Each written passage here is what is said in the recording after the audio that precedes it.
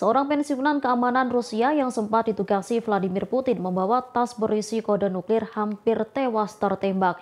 Ia ditemukan tergeletak di rumahnya dengan bersimbah darah. Pihak keamanan setempat saat ini masih menyelidiki motif terkait penembakan tersebut.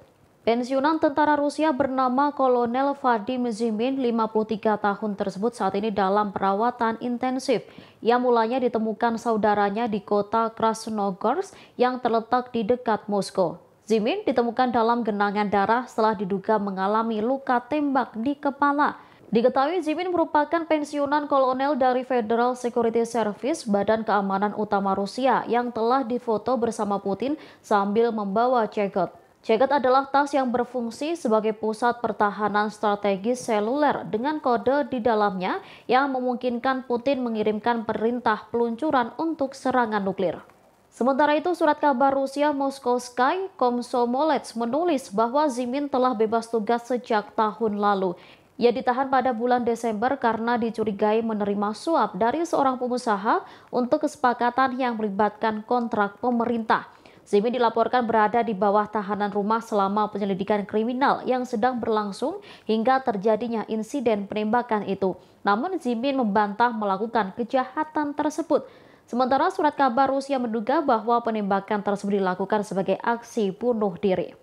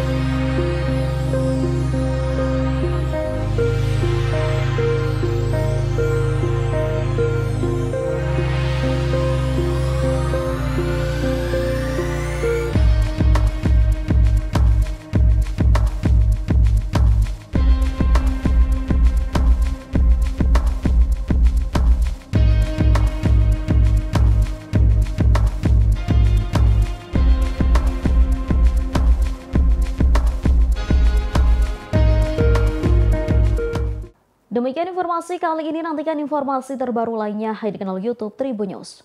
Terima kasih sudah nonton, jangan lupa like, subscribe, dan share ya!